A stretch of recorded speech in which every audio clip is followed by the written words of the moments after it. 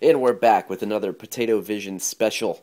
Uh, I've gotten a lot of questions after my last Pluto Trigger valve water drop video. So if you haven't checked that video out, go check that one out first. I'm going to try to answer all of your questions in this one. Uh, thank you to my Patreons. You guys are awesome. Let's get into this. First things first, I'm using plain water this time for this demonstration. I have a, I always fill this thing up until it's overflowing. Then we're ready to go. So now we're ready to go. Um, sorry for the mess, but I'll show you this. So it's about 12 inches from here, which is the top of the valve, to there, or the bottom of the valve, which is to the top of the water. So it's about 12-ish inches, maybe a little further. I didn't measure it. Uh, second off, I'm using a Canon macro lens. A couple things to keep in mind here.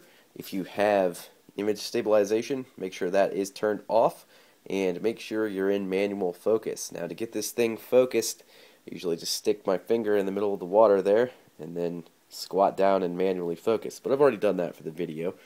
Um, next, um, I'm using the second method shown in the other video. I have the trigger going directly into the camera and then the camera using the STE3 from Canon firing the flashes. Now with the flashes you want to make sure you have these things set to their lowest power. That's going to make sure you have the shortest burst of light which will in effect stop your motion. Okay, now I'm going to show you exactly how to dial this thing in so that you can get a collision. But first, a little bit of the theory behind it. Um, so keep in mind that these are all in milliseconds. The drop size is in milliseconds, which means that, that when you set this, you're just telling the valve how long to open and allow water to flow through. Secondly, without seeing the code, I don't know this for sure, but my speculation is that drop 1, the flash delay, and the drop 2 delay all start simultaneously when you hit this button. Drop 2 will fall after this one runs its program. So your objective here is to get drop 1 to fall, splash, rebound in the water, make a pillar, and then at its highest point, drop 2 will fall and collide with it at that highest point while the flash goes off simultaneously. So that's what we're trying to accomplish here. Typically, the reason why I just went through all this and explained this is because typically your flash delay or your drop 2 delay is going to be much, much shorter than your flash delay. And hopefully my brief explanation there helped explain why that's the case. Um, next up, you can do this automatically by pushing the settings button here. It'll increment this in as however much you want. You can do one millisecond, whatever, all the way up until you get the drop to its highest point. You do have to stop this manually though, so you have to be watching your camera and watching this. Personally, I'm just going to show you how to do it manually because I think it's a lot easier and helps you understand the process better. So the first thing we have to do is get drop 1 to come down, rebound, and make its pillar at its highest point. So to do that, we're just going to eliminate drop 2. We're going to make this thing drop only one single drop and just dial this thing in. So here we go. Let's uh, see if it works. Yeah, I talked for too long and the flashes went into standby mode. So uh, let's try that again. Alright, I, ch I checked it that time, so now we're ready to go. So as you can see, we captured the drop. The drop has not even hit the water yet. So we're going to go ahead and bump this up like 20 milliseconds because it has a long ways to go. On that one, we have a divot in the water. So maybe another 20 milliseconds. Now we have a pillar. So now we've got a rebound, a pretty nice pillar. We don't know if that pillar is at its highest point though. So I'm going to just go up by increments of 5 to figure that out. As you can see on that one, we're starting to get a globule. So I'm going to say a 220 was probably pretty close to our highest point, but I'm going to go ahead and do another one at 230 just to be sure. Actually, that looks pretty good. I'll do another test shot there.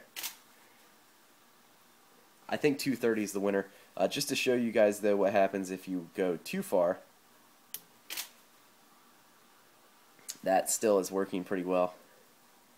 260 maybe. Okay, that's what happens if you go too far.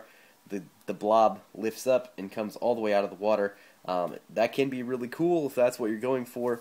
Personally, we're just going to knock this thing back down to 240 and keep it there for this demonstration. It's a really nice pillar. Now we need to make this second drop collide with that. So I'm just going to keep them the same size for this demonstration. You can play with all these things. and I'm going to just start at 100. 100 I think will get us probably pretty close. Okay, we don't even have the second drop in there, so we need to make this number smaller. So let's go down to 90 and see what happens. There you can see at the very top of the frame the second drop is coming in. So we still need a shorter delay yet. Let's try 85. As you can see it's getting closer. Let's try 80. Closer yet. I think 70 is going to be a winner, honestly. And there you have it, folks. A splash. It's pretty consistent. As you can see. Oh, this that third one didn't do very well. Let's try again. There we go. But we're getting pretty consistent splashes there. Now, I would like to note that these numbers probably aren't going to work for you. Um, I'm just using plain water. If you mix anything into it to make it stringy, to make it have color, anything like that, it's going to change things. Uh, the distance you have between your valve and your uh, catch basin is going to make a difference. Um, the, everything really kind of makes a difference. So every every time I do this, the, I have to restart this process because it's different every single time. Um, it's not a long process as you just saw, but it does need to be done each and every time that I. Okay, now that you have all that dialed in, if you want to make these things bigger, you just have to adjust all of the numbers a little bit. Um, getting a starting point to move from makes it a lot easier to play around with the uh, height of the bottom drop using bigger or smaller drops to get different effects. Uh, I'm not going to go into the artistic side of this ever, probably in a video. Um, you're on your own for that one. But uh, I wanted to show you how to go ahead and go through the process to find how exactly to get a collision. If you have any, any questions, please let me know down in the comments and I'll do my best to help you out. Thanks for watching, guys. Please check out my other videos and have an awesome day.